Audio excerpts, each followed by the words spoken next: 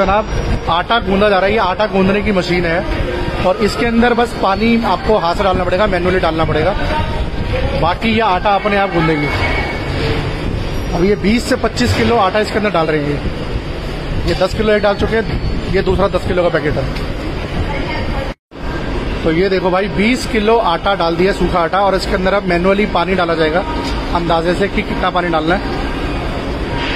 और जब ये आटा पूरा गूंद जाएगा उसके बाद ये ऑटोमेटिक मशीन के अंदर रखा जाएगा, जिसमें ये अपने आप रोटी का शेप ले लेगी, पेड़े बनाएगी, फिर रोटी का शेप ले लेगी और फिर रोटी को सेक के सीधा बाहर निकालेगी। तो आप अभी अभी आप देख सकते हो कि 20 किलो आटा गूंदा जा रहा है। क्या बात है।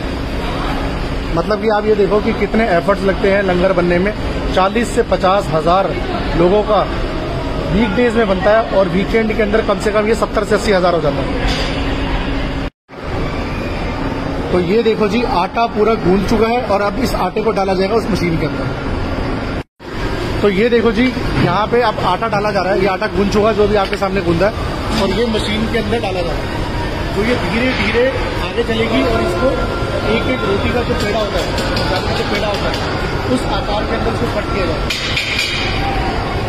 तो ये देखो जी यहाँ पर जैसे बताया कि ऑटोमेटिक मशीन देख रहे हैं आप कि ये इसको एक रोटी की शेप के लिए पेड़े में कट किया जा रहा है। आप देख सकते हो हर एक पेड़ा जो है वो इक्वली है और ये सूखा आटा जो कि धूड़ा लगाया जाता है जब, जब रोटी बेलते हैं ताकि रोटी चिप, चिपके ना या फटे ना।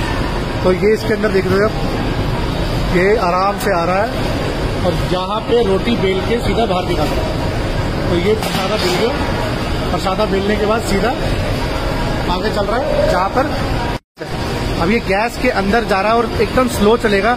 एक बार राउंड नहीं लगेगा, कम से कम तीन चार राउंड है, दो तीन राउंड है, आप देख सकते हो।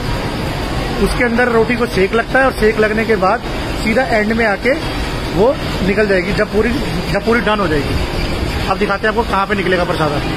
तो ये देखो जी गर्मा गर्म प्रसादे रेडी हो चुके हैं और अब इसको लंगर हॉल में लेके ले जाया जाएगा। पहले इस पर घी लगाया जाएगा और फिर लंगर हॉल में लेके जाएगा। देख कितने फूले फूले निकल रहे